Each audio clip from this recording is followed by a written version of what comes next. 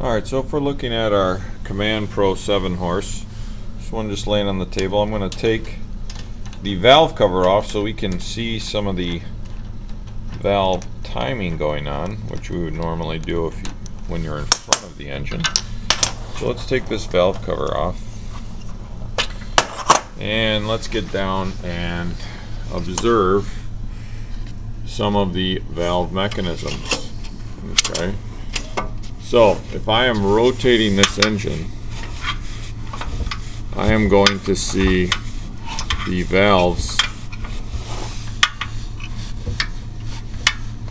There's one moving. If we go back, you can see the actual spring compressing. So if that spring is compressing, the valve is inside of there. That means it's opening. So if this area of the rocker is going down. That means the valve is opening. So if we rotate this engine, let's back up.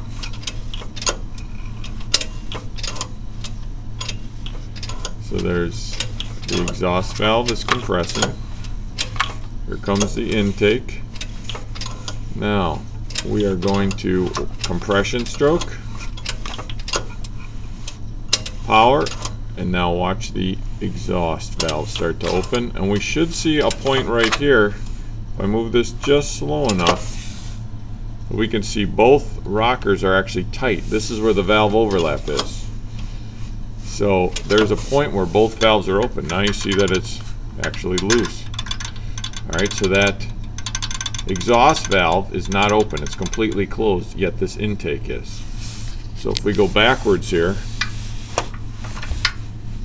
just a little. Look at both of them are tight. That means both valves right now are just slightly open. So that's what we call valve overlap.